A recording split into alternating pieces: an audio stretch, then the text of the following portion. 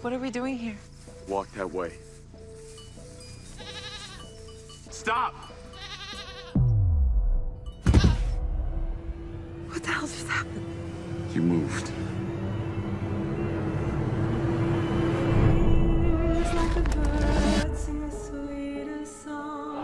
I didn't even know I was doing it. Doing what? Killing them. It was like I was just sucking the life right out of them just by coming close. 911, what is your emergency? I need help. Can I have your name, please? Yeah, it's. Jesus Christ. Jake! Jake! You can't take me out there, not without him! I have to go with them. We have to go together. You gotta get out of here, please! Let me go! Both you hear me, you're gonna die! No! Get out of here, please!